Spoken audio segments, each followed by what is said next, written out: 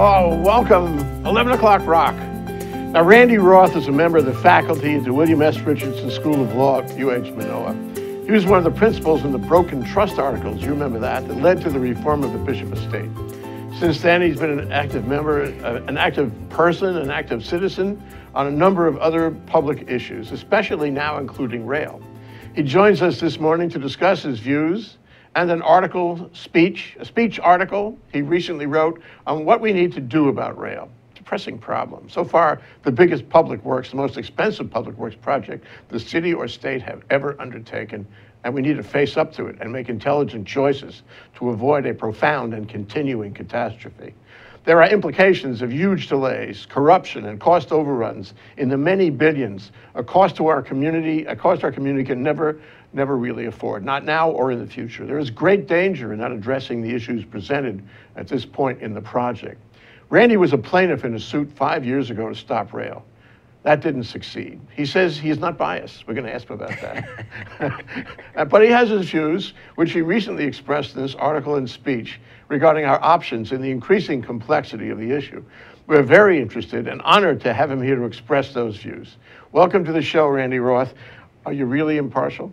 well, I think if I have a bias, I really, really like public transportation. I think a city like Honolulu needs uh, a first-class public transportation system that's that's reliable and convenient and clean, safe and, and affordable. Affordable to people who use it and affordable to the community that, that, that pays for it. Um, back in the 1970s, uh, in my youth, when I was a, a CPA by profession, I commuted by bus. Uh, in fact, my wife and I met for the first time on bus number six. all right. downtown Denver. So I really, in all seriousness, uh, feel strongly about the importance of public transportation. Uh, in Hawaii, and specifically on this island, we are pursuing a rail option, what's called um, elevated uh, rail, and, uh, and I think it's the wrong choice for us. Um, it would have been by far the most expensive capital works project, even if it had stayed on budget. It's way over budget, and every indication is that the increases haven't stopped, that it's going to keep on going. And there are a number of other issues that I have with it. Um, specifically, right now, the FTA has said, look, there's no way you're going to be able to finish this project or come close to finishing this project on the current funding that's going to be available to you. So the FTA has said you're going to have to submit a plan by the end of April that tells us what you're going to do, and then we need to decide, the feds need to decide whether to continue to give you money or to not just stop giving us money, but to take back what they've given us so footnote, far. Footnote, footnote. We're going to have a new president in April. How is his views going to affect that decision? The short answer is nobody knows. uh, I think because it's a new person coming in, Donald Trump obviously is, is less predictable, I think, on a lot of issues than most incoming presidents would be. But for a number of reasons, with a new administration, there'll be a new Secretary of Transportation, a new FTA, that's Federal Transit Administration Administrator. Um, I think they're going to take a real hard look at this. The city has submitted what they call an interim plan that says we prefer, we being city administration, and when I talk about the city, that includes HART, the semi-autonomous group that's directly involved. Uh, the city is saying we want to pursue what it calls Plan A, which is to get the legislature to give us the money we need to finish the project as originally designed. It would take way more money than what is currently provided for. Plan B, which they have in this interim plan, is to stop short of Ala Moana Center. The Middle Street solution. Maybe Middle Street, maybe downtown, maybe include the stations that have been planned in between, maybe delete some of those stations.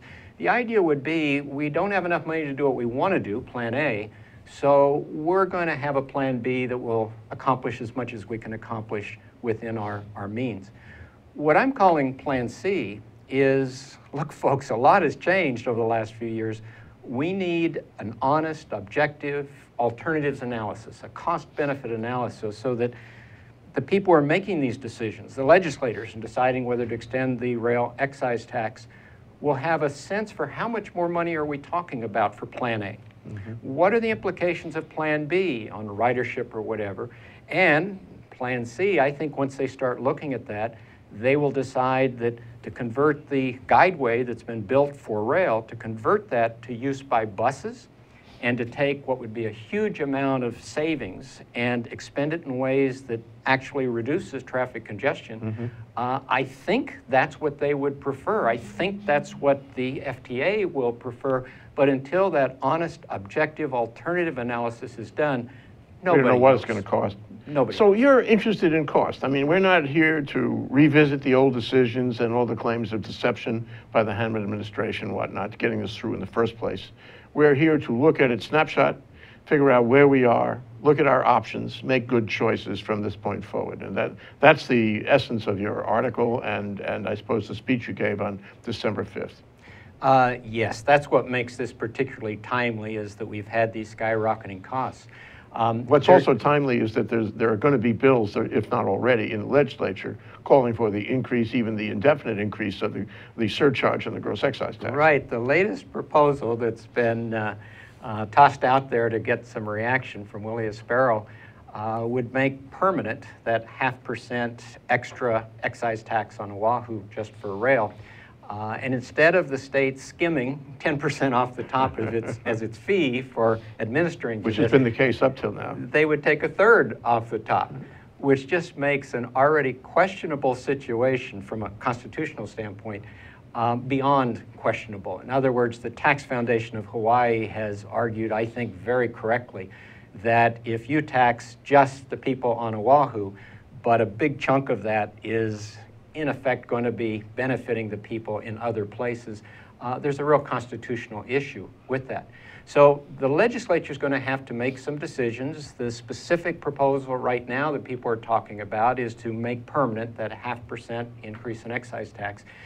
And all these big numbers, I don't know if you have that graphic ready. Do we have the graphic uh, with the numbers? Otherwise, we can read them. Back in 2006, here's, here's a headline. Actually, when Mufi Hannemann first started talking about the cost of rail, he was at 2.7 uh, billion, but I couldn't find that headline. So I remember it though. I'll, I'll be your witness on this. so he was looking at, at $3 billion, and then if you go to the next graphic, this is um, a recent headline uh, that now we're looking at 9.5. I actually think it's going to be well in excess. Plan A would be well in excess of yeah. $9.5 billion. But let's just assume that the city's finally got this nailed down. They've increased the estimate many times. Let's assume they've finally got this nailed down. It's $9.5 billion. The question is, what does that mean? That's such a big number. So what the Tax Foundation of Hawaii did uh, in, in their way, and I've reworked it a little bit for purposes of this particular uh, conversation, how much would an average family of five have to pay to finish rail, to, yeah. to pursue Plan A, if yeah. you will. And just to give you a starting point, when you do the math, which is pretty simple, uh, so far the excise tax, the half percent excise tax, has raised $2.1 billion as of the end of 2016. If you allocate that to a per person basis by dividing it by a million. There are about a million residents, slightly less, but about a million residents on Oahu. And then you take out 30% because directly and indirectly, tourists, non residents, pay a significant chunk, either directly because it's earmarked on their bill or indirectly because it gets baked into down, the costs yeah. of, of goods and services in yeah. Hawaii. So if you take out that 30%, leaving only the 70% that residents end up paying. And multiply it by five, because we're talking about a family of five, already the average family of five has paid over $7,000 for rail, $7,350. And if you say, yeah, but it's mostly paid by rich people, the excise tax is notoriously regressive. regressive. You know, percentage wise, it's more burdensome on low and middle income than it is on, on high income. So already over 7,000, but here's the kicker. Here's what I prepared just for this conversation. If you assume that this is going to cost $10.8 billion, which is the upper bound number that the FTA has, has been working with, I think it's going to be more. Two years ago, the upper bound number was $7.6 billion. Yeah. But if you just use that and go through the math that I've just gone through, the additional cost from where we are now to pursuing Plan A, building Ala Moana Center, the additional cost for each average family of five is going to be $25,025. Now again, it's 9.5 billion or 10.8 billion, or we've got these billion dollar numbers that we see in the headlines. Can I footnote to say that Parsons Brinckerhoff, same contractor, built, built the Boston Big Dig project. Yeah. Uh, the, number, the numbers were multiples of the original estimate. In fact, they did the cost estimate and the ridership estimate, estimate for the last elevated rail system built in the US and US territories. And their cost estimate was off by about 80%. Their ridership estimate was off by 74.9%. And those are the consultants that did our initial estimates. The cost estimate, we have some hindsight. We can see that the original cost estimate was way off. Maybe it was incompetence, maybe it was just, uh, who knows exactly why, but it's way off. I think ridership is going to be way off.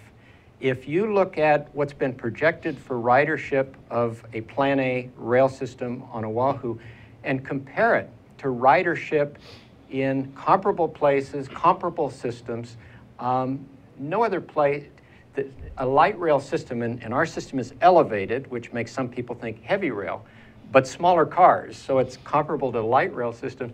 No city with a light rail system has a line that has achieved more than 38,000 average weekday riders. Our projection for Oahu is 119,000. Lots of luck. So, and Mufi Hannemann promised 10,000 new local jobs. So far, it's slightly less than 1,000. And I could go on, but the point is there are good reasons to be skeptical not only about the cost estimates, but a number of other things that we were led to believe were part of Rail on Oahu.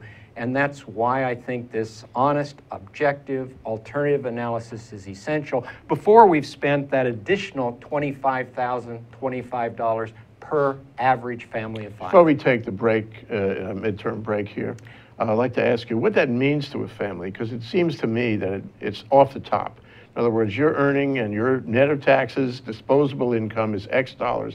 You're paying that $25,000 out of your disposable income. That's what happens. Yeah, the bulk of excise taxes that are incurred by you and me and the average family of five, um, we don't see. It's not part of that half percent that gets identified at the cash register. The bulk of it is what gets baked into the cost of all goods and services. So it's an inflation of everything. Yeah, excise taxes are actually paid by businesses. They're the ones that file the return, pay the tax. Some of it they pass on at the cash register to consumers. Most of it we don't see. It's just one of the major reasons why everything costs so much in Hawaii. So the burden is the same. You know, whether somebody takes your pocket from behind when you're not looking or takes your, your wallet from behind or right here holds you up and, and take, either way, the wallet's gone. so the burden's the same. And when we get back from the break, I want to tell you that even if Plan A gets completed, there are huge costs that the city has not said one word about where the money would come from to pay those annual costs after rail had been put into place, and that pencils out to $700 per year for an average family of, of five for the rest of that family's life. And it gets worse. we're going to take a short break so you can take a deep breath, then we're going to come back and, and hear the rest. Hey, how you doing? Uh, welcome to Hibachi Talk. My name's Andrew Lanning. I'm your co-host, and we have a nice program here every Friday at one o'clock uh, on Think Tech Studios, where we talk about technology and we have a little bit of fun with it. So join us if you can. Thanks. Aloha. Aloha and Happy New Year. It's 2017. Please keep up with me on Power Up Hawaii, where Hawaii comes together to talk about a clean and just energy future. Please join me on Tuesdays at 1 o'clock. Mahalo. Aloha. My name is John Waihee, and I actually had a small part to do with what's happening today. Served actually in public office. But if you don't already know that, here's a chance to learn more about what's happening in our state by joining me for Talk Story with John Waihee every other Monday. Thank you, and I look forward to your seeing us in the future.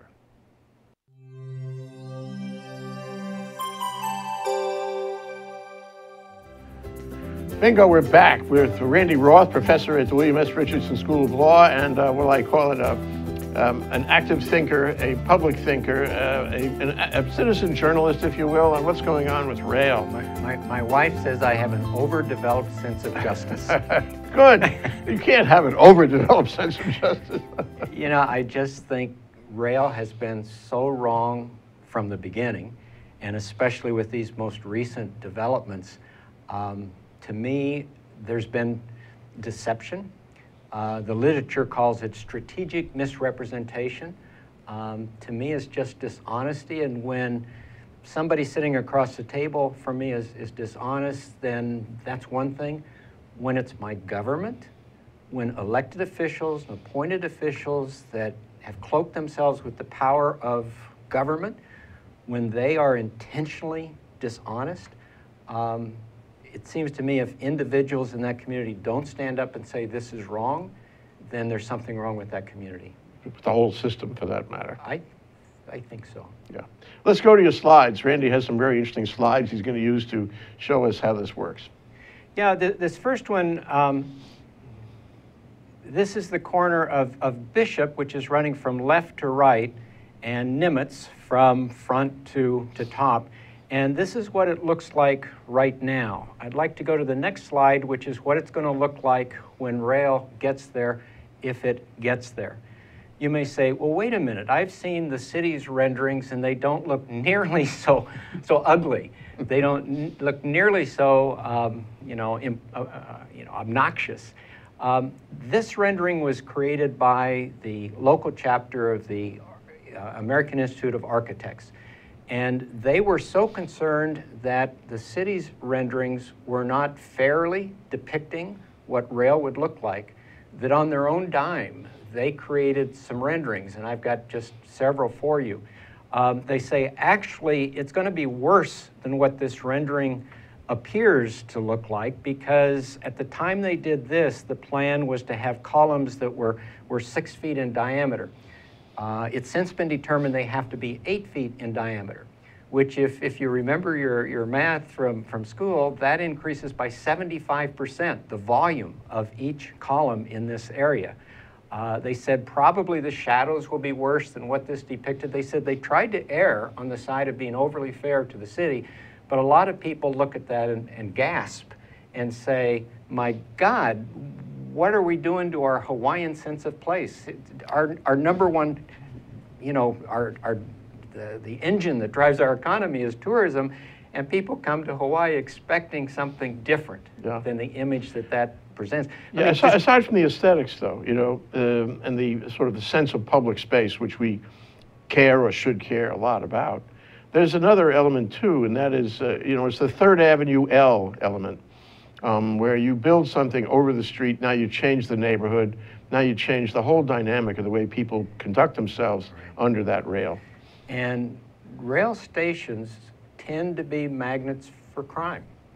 Um, you look at rail stations around the country, and, and you typically don't find particularly appealing places to be transit-oriented development has been described as, as a reason for, for building rail in, in Hawaii, that, that developers are just going to be tripping over themselves to try to rush in and work out partnerships whereby they can get rights to build over the airspace and do all sorts of things to have lots and lots of dense living units right there at that rail station. Well, you'll notice None of those have been announced in the newspaper. There are none of them in the works, to my knowledge. Uh, elsewhere, in order to get developers to do that kind of construction around rail stations, uh, typically there have to be large subsidies paid to those developers.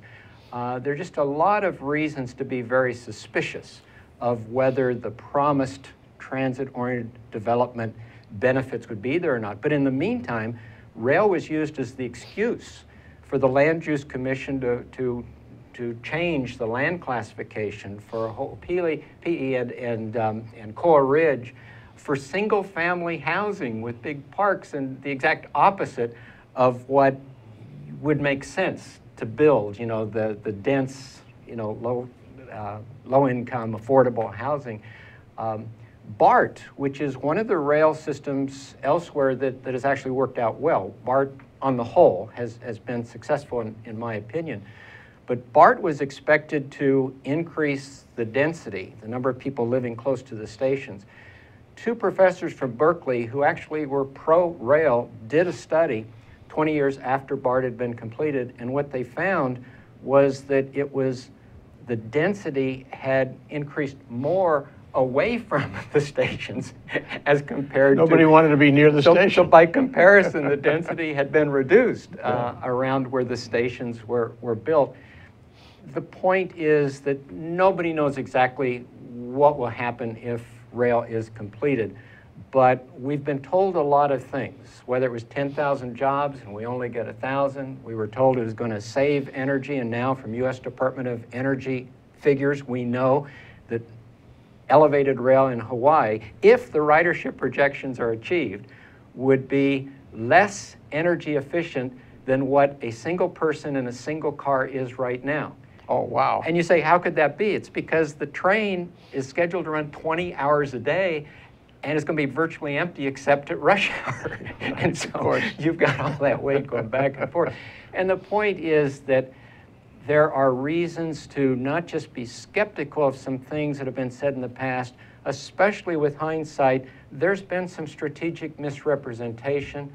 I think the community has a right to demand uh, an investigation as to who knew what when, because um, we didn't get here uh, by accident.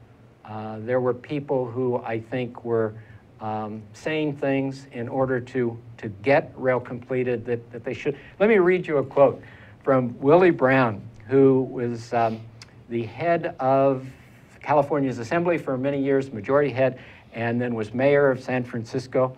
Uh, here's a quote after he was out of office and in the Wall Street Journal a couple years ago. He said, In the world of civic projects, the first budget is really a down payment. If people knew the real cost from the start, nothing would ever be approved. That's a quote. Now, you know, in the private sector, if I was trying to talk you into investing in my business or lending money that I'd use in my business, if I told you what I needed to tell you in order to get you to give me that money, I'd go to jail. Okay?